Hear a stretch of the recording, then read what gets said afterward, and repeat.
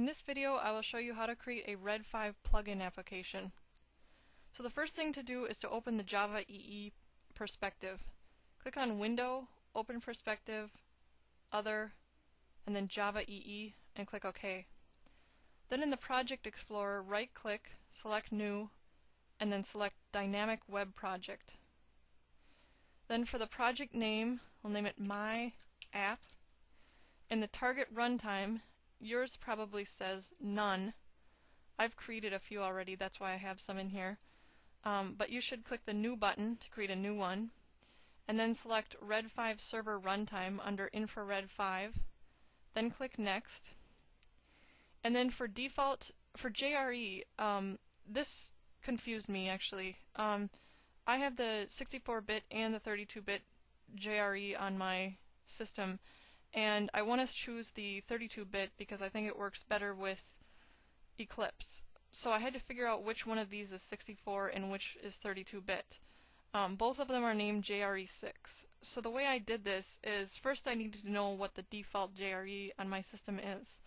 So I went to my registry editor, so I click regedit, then click OK, then I go to HKey local machine, and then software, and then JavaSoft, and then Java runtime environment, and then 1.6, and I can see here it says C program files Java JRE6. Now that's my 64-bit version of the JRE.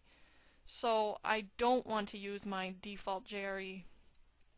So I'll pick the other one, JRE6. Now for this, I want to change this to where my distribution is located. That's R1. So I'll copy that path and put that here. And then I'll click Finish.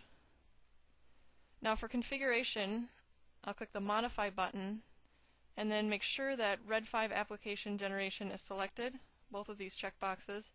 Then click on Runtimes and select the runtime we just created. For me that is Red 5 Server Runtime 4. Then click OK. Red 5 server runtime 4, that's the target runtime that we just created here.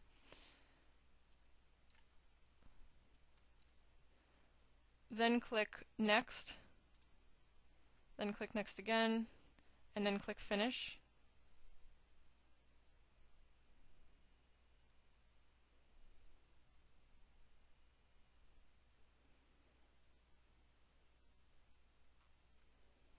And now it says building workspace.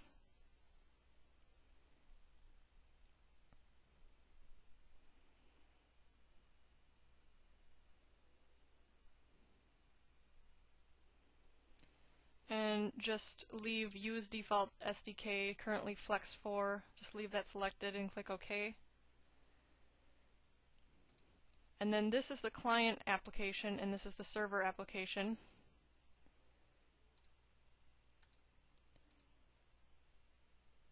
So in the server application, we can see that we've got this application.java, and that has our server code. And in myappclient.mxml, that has our client code.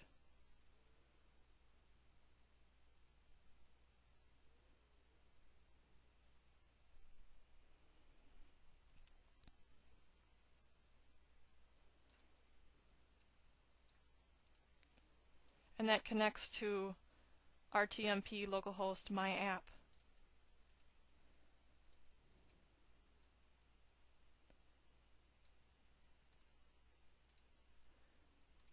And if you go into web content and then web INF, you will see the standard Red 5 three files. And now we can run the server. So right click on the server app select Run As, and then Run on Server.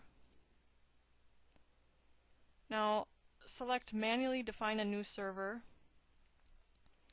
and then under Infrared 5 make sure Red 5 Server Runtime is selected, and this can be localhost, and then give it a name, and for the runtime server environment choose the one that we created in a previous step, and mine is Red 5 Server Runtime 4.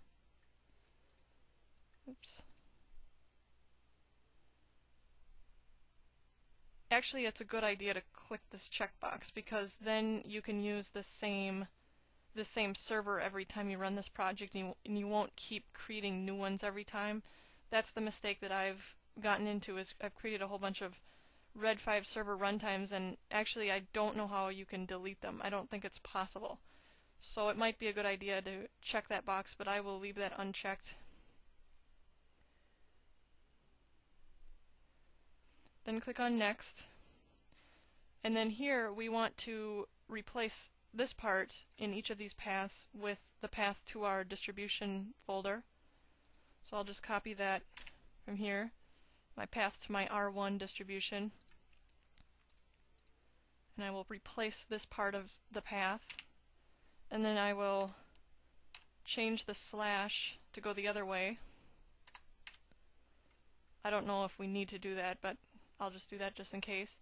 And then here I'll paste the path again, and I'll change the slash, and then instead of sh, I'll change that to a to um, bat because shell scripts don't work on Windows. I'll do the same thing here,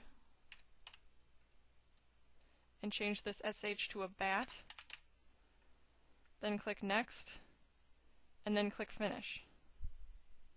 And now it should run our server app. Now if you get an error here, okay, it looks like it worked, but if you get an error here, um, like I did earlier, I found that there was an error in my red5 debug.bat script and um, so I had to fix that. I put a pause in that file and um, here I'll open that up.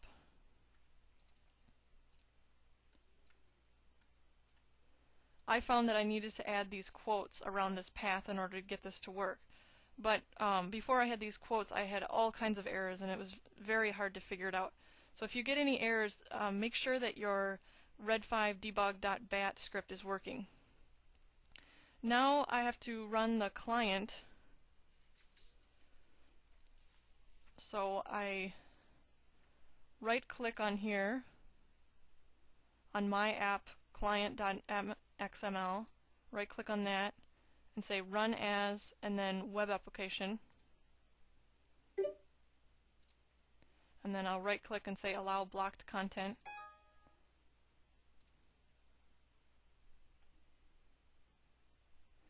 and it says successful connection.